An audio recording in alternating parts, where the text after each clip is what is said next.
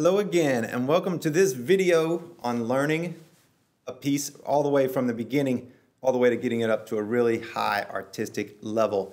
This is for beginners and I hope that you are enjoying it so far. If you're just finding this video and coming into it right now, I suggest that you go back to video number one and jump onto it right there and then come through or else you won't really know what is going on. So with this step, we have now made small sections we have looked at all the notes in the musical markings. We have clapped the rhythm, make sure we know what the rhythm is doing. We've also looked at the dynamics, though we might do that at the end if we're just starting out. We might save that step for later, but if you can, then go ahead and do it. Then now what we're going to do is play our right hand all by itself, no left hand. And this is a step that people are really tempted to skip, but don't do it because otherwise you'll get into the left hand all your attention goes there, and then your right hand just never really gets worked out, and you just play with whatever finger comes. And if you're really interested in growing over time as a classical guitarist, you're going to need extreme control over your right hand. That's kind of the name of the game. That's what sets classical guitarists apart from other guitarists, fingerstyle guitarists, rock guitarists, folk guitarists, is the fact that we can do amazing things with our right hands. We can get different tones. We can play stuff that people, other people can't play because we put this time in and we do this step right here. So with that, let's just jump into the right hand on this piece. So what I've done for you is on the page with the small sections, I have color coded. You can download all these PDFs for all of the sheets that we're using in these videos down below. Just find the, find the link. What I've done is I've color coded by string. And so this magenta color right here is the second string. This olive color is the E string. Down here, the green is the, is the fourth string, the D string. So I've just color coded that. So for right now, all we're going to look at is what string is this on. We're not going to look at where the notes are. You'll end up visualizing the note in your head because you have to figure out what string it's on. So you're obviously going to find, oh, that's on the first fret of the second string. You're going to play the second string.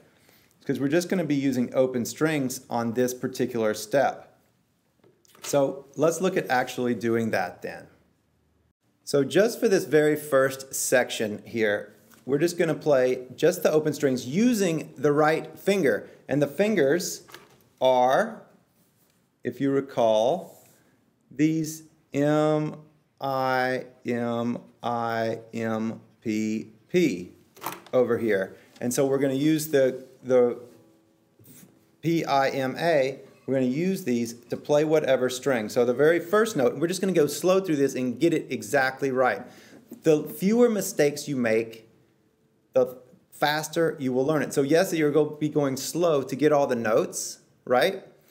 To get it all in the right spot but you'll actually be learning so much faster because you won't have to go and relearn all of these things. So every time you make a mistake, you're training yourself to make that mistake again. You have to dilute it out, dilute it with, with right notes to do it. So the very first one is the B string with the M finger.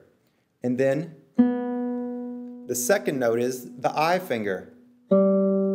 Oops, on the second string as well. So we have M I on the second string, then we have M on the first string. Then we have I on the second string. Then we have M on the second string. And then we have two thumbs. Now notice my rhythm was not totally steady on that, right? We got to pick and choose what we're doing. We'll add the rhythm back in a minute. But at first off, just get it. Just get what notes are playing what, or what fingers are pl playing what strings in what order. And then we'll put the order in. So now that we've figured that out, now, and it might take you a couple of passes through, or you might have to actually split this section into an even smaller section. And that's perfectly fine too, just maybe a couple of notes. But now what we're going to do is we're going to put it back in time, count out loud, and play it as well. Just, just open strings. The left hand can go out for pizza. Ready, go. One, two, three, four. One, two, three, four. There it is. And so you do this several times. I'm not going to do it here because you don't want to watch me do this a bunch of times. But practice this slowly until you can really get it. And then just start getting it a little bit quicker and quicker to where you can actually like really get this as if this were all there was. This is the entire piece. Now, if you really want to go the extra mile get this up to faster than you would even need to play the piece at the end. So you can actually just go ahead and work out the right hand fingering before you even deal with the left and get it up to speed. Like if it was this fast, then practice it all the way up to that and even a little bit faster so that it'll be easier when you come back down to it. Now, just like we had the extra video in there about dynamics, if you went ahead and did that, then at this section, at this stage right now, you would actually add in your dynamics. And so we're going to do that. I will just um, put them in. Remember, we're just not accenting the high note. We're getting softer as we get up, as we go up the line, and then louder as we come back down. And then the repeated notes, crescendo. If you don't know what I'm talking about, that's okay. We'll just do it right now, counting out loud. Ready?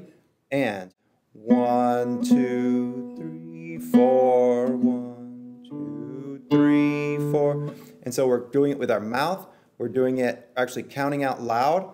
We're putting it all together and really wrapping our heads. Now, if you're not counting out loud, and if you're not doing the dynamics and everything with your voice, then you probably don't really know them as well as you think you do. Because if you really know them, then you can do it. It's one of those things. I can ask you where you, you know your address. You don't have to think about it. Um, you know, if you actually, if I said, what's the address for three doors down, you might have to think about it for a second. You can figure it out. You want to know it as well as your address, your phone number, whatever it is. One more time, extreme dynamics on this. We want to really extreme things at this. One, two, four, Exaggerate like crazy the dynamics on all of this. And so that is how you would go about the right hand by itself and then get it all the way up to tempo using the dynamics as well. The more time you spend on these type of things, the better your playing will be. You will progress way fast and you'll learn pieces much faster. Okay, in the next video, we will be looking at the left hand. And so let's go do it. See you there.